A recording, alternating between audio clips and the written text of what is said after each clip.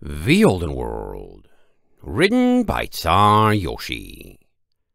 Chapter 747 A Royal Invitation. When Valet and Shinespark were gone, Starlight was left alone with Gwendolen in the library. She didn't opt to talk, tending to herself with her towels and drying her face in her fur. A few minutes passed, and she felt the hum of life course through the ship a pleasant vibration that made the timbers feel slightly more alive. The floor lifted beneath them, the sound of the rain disappeared on the deck above, and they were airborne once more. Starlight paused, sitting and holding her towel and looking at the roof. The sound of the rain was one thing she did miss, actually, when the ship was active.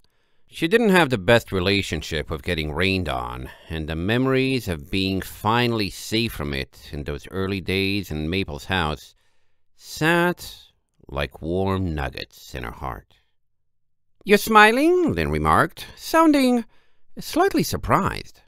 I just reminded myself of something. It's nothing. Starlight shook her head. Lynn shrugged, starting to remove her sodden dress. It was a dark garment with elaborate markings, but a simple layout and no ruffles or frills, and had soaked through easily, looking thin and unsuited for cold weather. The thing clung to Lynn's fur as she struggled with it, and after a moment Starlight asked, Do you need help with that? For a brief moment, the Sphinx looked slightly frustrated, then nodded. Thank you. Starlight delicately tugged at the dress, using her teeth and hooves and careful not to tear it. With her help, it was soon drying and folded, revealing a cutie mark of a chess king on the filly's exposed flanks. Where? Lynn gave her a strange look. How come you didn't just use your horn? I... Starlight blinked, suddenly not sure she wanted to tell her that she had overused it against Gazelle. My horn is different from other unicorns. Lynn tilted her head. I saw you using magic on my brother. It looked strong. Uh, Starlight wilted slightly. It just only is strong. It isn't good for delicate things. Okay, Lynn huffed, leaning back and returning to toweling herself. You can just say you don't want to talk about it. You don't need to lie to me. I was only curious. Starlight sighed. Is that that easy to tell what I'm thinking? Yes, I apologize. I'm good at it. Lynn focused on her towel. And my brand tells me when anyone is lying.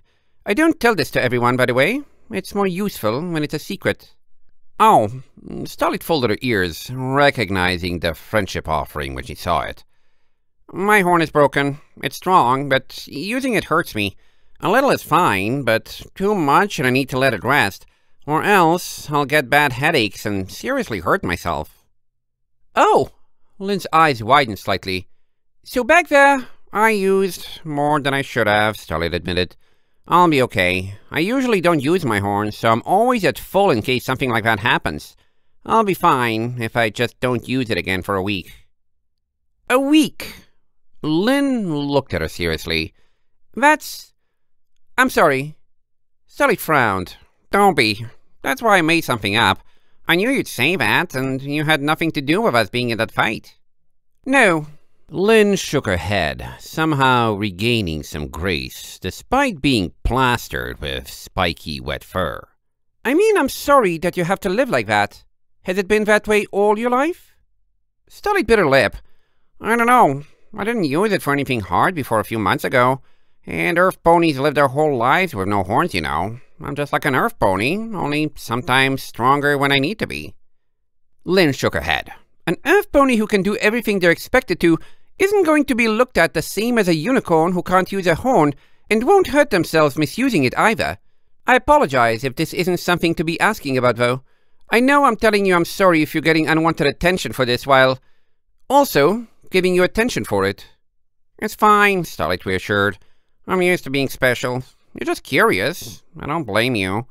She went back to toweling herself, starting to feel slightly drier. You're asking anyway because you want to know if I feel the same as you do, don't you? Lynn smiled. Is it that easy to tell what I'm thinking? Starlight blinked, recalling She had said exactly the same thing minutes earlier. I guess it is, she said, feeling some of the tension in her shoulders lifting. You did tell me earlier on the deck that our friend told you we had a lot in common, though. I just remembered that. Oh, right. Lynn folded her ears sheepishly. You're right, though. It just sounds like you're uncommon, and I thought maybe you would rather not be. I don't know. Starlight fidgeted with her forehoofs.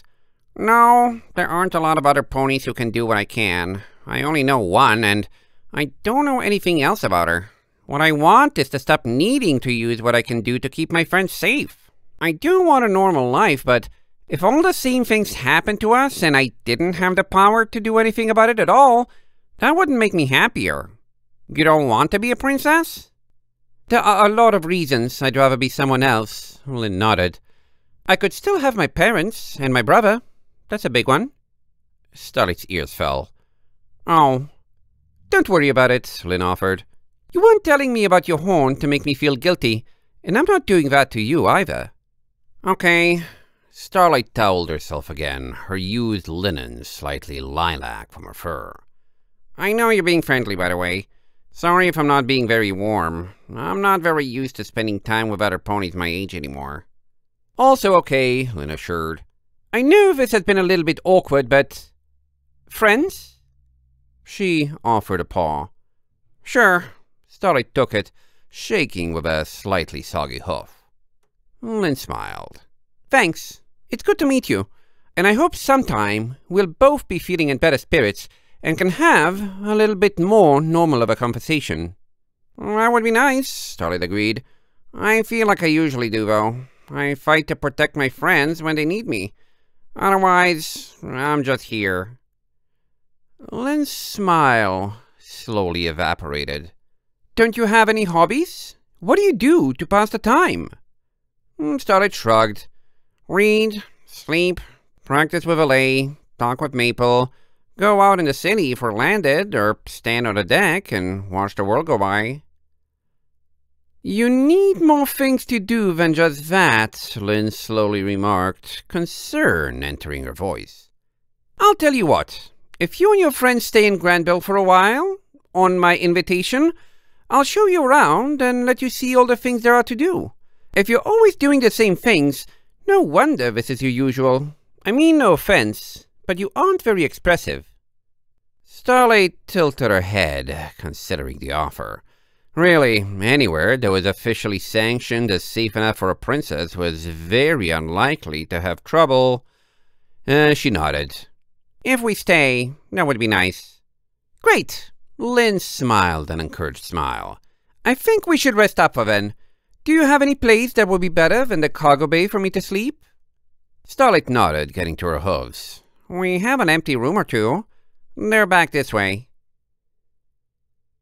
End of chapter 747.